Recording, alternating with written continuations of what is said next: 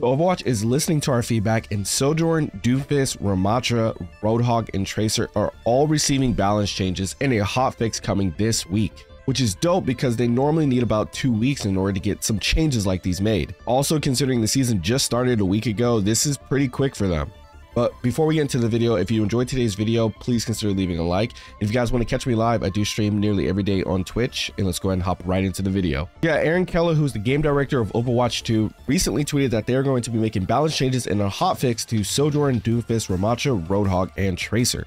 Now, if you notice in the background footage, Sojourn is very much still playable. Now, I want to preface that even after these changes, she's probably still going to be playable. The issue is that maybe she isn't going to be as strong and felt as needed as she is now. I've seen some people say that with a Mercy Pocket, she's still kind of the same. Personally, don't think that's the case considering that if you have to use a Mercy Pocket in order to buff a Sojourn, you're kind of taking that resource away from the other DPSer, which Sojourn was able to do on her own meaning the old Sojourn could simply just do things on her own and the Mercy Pocket could focus on the other DPSer, which would make the team overall more deadly. Regardless, it does look like they are going to be doing something to address her. If I had to guess, they're likely going to revert the primary rail damage and maybe change the charge up time.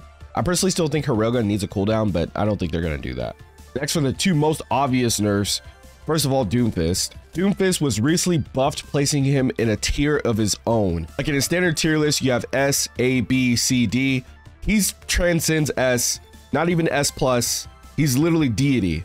The man will jump in your face and give you the strongest overhand right and just completely end you. Doomfist's high mobility and his ability to just simply combo you to death without you having a chance to respond is really kind of crazy, especially considering that he's a tank and tanks having this level of capability while also having a ton of health makes them incredibly difficult to deal with. Now, I'm okay with him having the health that he has and getting the regen that he has because he does need some sustainability as a tank. The issue is that when you make him too overwhelmingly strong, then it becomes just really oppressive. And this is kind of the issue that we've gotten with just overall one-shots in Overwatch, especially since Overwatch 2. As now, since the game is now 5v5 instead of 6v6, losing one member could be just simply a game changer in any team fight, especially when it's a support player, which is normally who the Doomfist is going to dive on. And the issue with one-shots isn't just a Doomfist exclusive thing, Roadhog, who is also receiving some hotfix changes, also has this capability of just simply being able to one-shot and just take someone out of the game, putting them back in the respawn with little to no effort. Like me, someone who literally never plays tank, I can hop on Roadhog, get easy hook kills and easy one shots just by simply knowing the combo. And that's only because playing him just isn't really that hard. He's too rewarding for as simple as he is. Honestly, some of the changes that I think that they're going to make to him is going to be something to do with his vape because the ability for him to be able to just gain 300 HP instantly and then also have a 50% damage reduction is pretty crazy. And I almost forgot to mention, Hog literally gets ult charge from using his vape too. So not only does he gain HP, he gets a 50% damage reduction and he gains ult charge from it.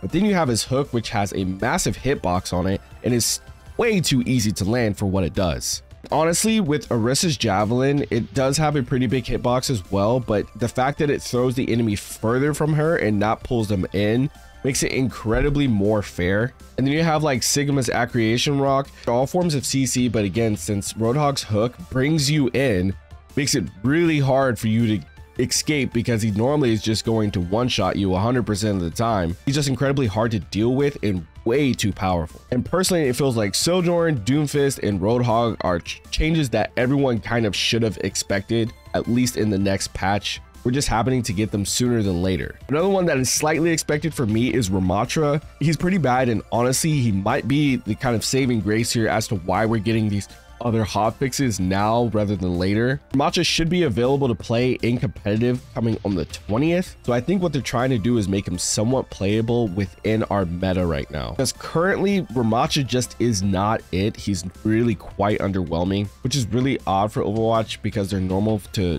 over tuning someone instead of under tuning them. Furthermore, both Doomfist and Roadhog give Ramattra quite a difficult time to deal with. And personally, I would love seeing him being played in competitive. It would shake things up, hopefully. But at his current state right now, he's really just not going to do anything. And lastly, we've got Tracer. Now, I've seen some people say that she's going to get nerfed based on damage wise, that they're going to revert her back.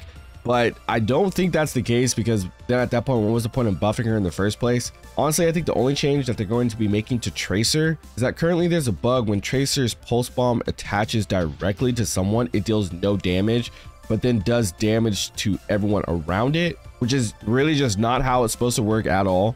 And I think this is an issue that they want to resolve, especially considering since they just buffed her, people have been playing her much more. And Tracer's ultimate is really already pretty underwhelming for the most part. And you'll find your time more times than not just getting solo picks with it. But but if you can't attach it to him, it makes it even more underwhelming. This is honestly the only change that I can see them viably making to her. Anything else could end up making her even more broken or just making her kind of useless again. I don't think they change anything to the rewind and I don't think they change the blinks at all. And that's pretty much all she has outside of damage. So because of that, I really do hope those are the only changes that they make to her because I do kind of like playing Tracer and I just overall like seeing a wider variety of heroes being used during competitive. Let me know what you guys think about these changes coming up in the comment section below.